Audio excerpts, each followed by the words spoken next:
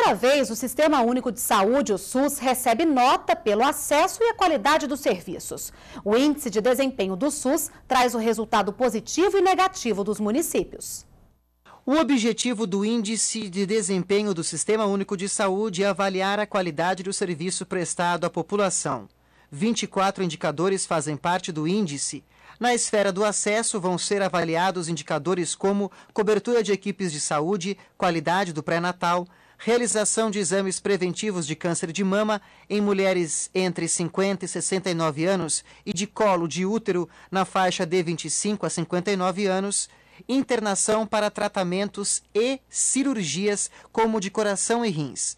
Já a efetividade do atendimento vai ser medida a partir da cura de novos casos de tuberculose e hanseníase, porcentagem de partos normais, número de mortes em menores de 15 anos internados em UTIs e de mortes em internações por infarto. O Ministério da Saúde avalia que o grande desafio do Brasil é garantir à população um acesso de qualidade ao Sistema Único de Saúde. E por conta da diversidade brasileira, estados e municípios foram divididos em seis grupos com características semelhantes em termos sociais, econômicos e de estrutura de saúde. A ideia é fazer comparações e buscar a melhoria do serviço prestado dentro de um mesmo grupo. Nós, nas relações do Ministério com os estados e municípios, nós vamos construir com eles metas locais, metas regionais, metas estaduais e a avaliação do desempenho do alcance dessas metas pode significar inclusive incentivos financeiros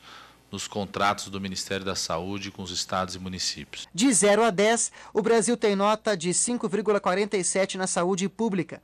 Para se chegar a este número, o Ministério da Saúde trabalhou em geral com dados de 2008 a 2010. O acesso aos serviços de alta complexidade nos municípios do interior em toda a região norte e nordeste do país é muito inferior, né? é muito inferior do que o acesso que outras regiões do país têm. O índice é exatamente para isso, para nos ajudar a identificar os vazios e, com isso, induzir a presença de médicos nessas regiões.